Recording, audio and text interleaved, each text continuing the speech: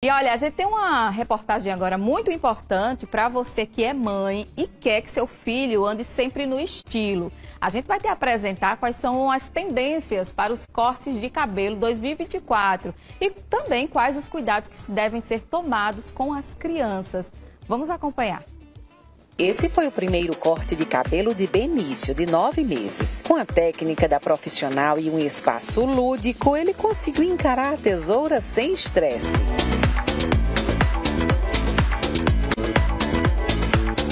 Caio, de 8 anos, acostumado com o corte moderno do tio Mário, adora o salão por conta dos jogos.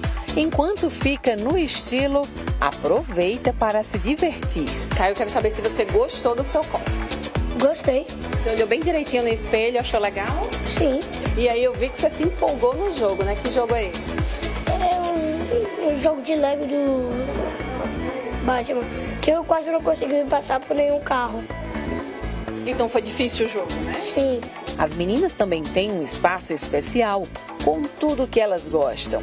E a brinquedoteca é completa para fazer com que as crianças fiquem mais relaxadas para a hora do corte. Tem que ser rápido e preciso, né? E observar para não pegar na orelha, que a criança se mexe muito. Então tem que tomar muito cuidado. Tem jogos, tem brinquedo, tem, a gente sempre está colocando música, porque tem criança que gosta de música. Tem espaço para eles ficarem bem à vontade, entendeu? E aí chega a durar quanto tempo um corte de cabelo? Aí depende da criança. Tem criança que dá 20 minutos, tem criança que dá uma hora, que dá muito trabalho. A gente tem que. A criança vai andando, a gente vai cortando atrás, entendeu? Mas a gente consegue desenrolar.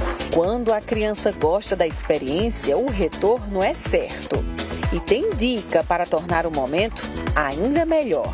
A gente até indica os pais, porque muitas vezes a criança vai colocar a capa e não gosta, e sente sufocado. Então a gente indica aquela camisetinha de sol, sabe? Que daí o cabelo cai e não dá agonia neles. Mas tem uns que dá trabalho, com certeza, mas tem muitos que também dá para passar, dá pra gente cortar.